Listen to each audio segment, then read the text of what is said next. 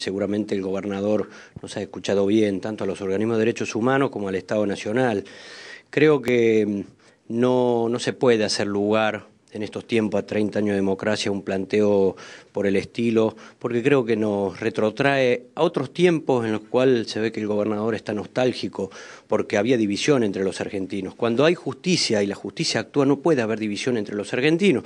En consecuencia, el, baño de reconciliación que pretende el gobernador creo que este, lo puede aplicar en otro país. Por si el gobernador no sabe Argentina, después del 2003, en el mundo entero, Naciones Unidas, Comisión Interamericana de Derechos Humanos, lidera un proceso de implementación de políticas públicas en materia de derechos humanos que justamente esos países lo están imitando. Y lo están imitando porque se resolvió con memoria, verdad y justicia, no se resolvió con un pacto de la Moncloa, no se resolvió con leyes nuevamente de impunidad. El Poder Ejecutivo no puede negociar por encima de la justicia todas esas condiciones.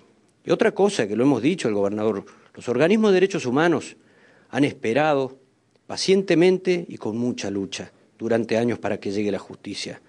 La justicia no es prenda de negociación de nada, ni de nadie, y menos en una materia tan cara para los argentinos como ha sido la lucha por memoria, verdad y justicia, por nuestros desaparecidos, nuestras víctimas. Por lo tanto, estimo que el objetivo del gobernador es deteriorar no solamente una política de derechos humanos de un gobierno, sino un patrimonio político, histórico y cultural de una nación. Los derechos humanos para el mundo entero, después del Pacto San José-Costa Rica, en adelante, deben ser políticas de Estado.